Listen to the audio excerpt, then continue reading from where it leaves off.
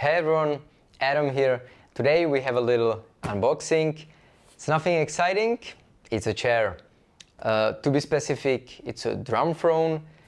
Uh, basically, whenever I play guitar, I'm using this bar stool and it's not really comfortable to use for extended periods of time.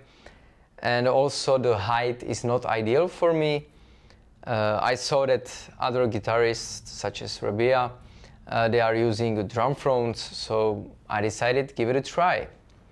Uh, without further ado, let's unbox it.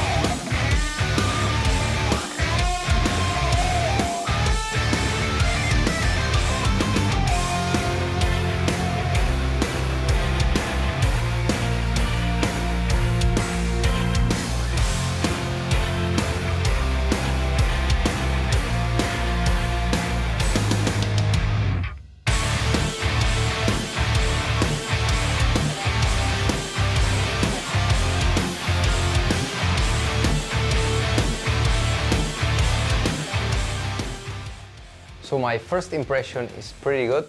I must say the cushion is much more comfortable compared to my older bar stool.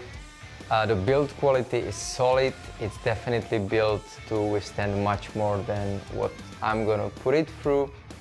Uh, and I know that the chair or throne uh, is not as exciting uh, as an actual guitar related gear but I'm gonna spend many hours sitting on it so might as well uh, have a good one.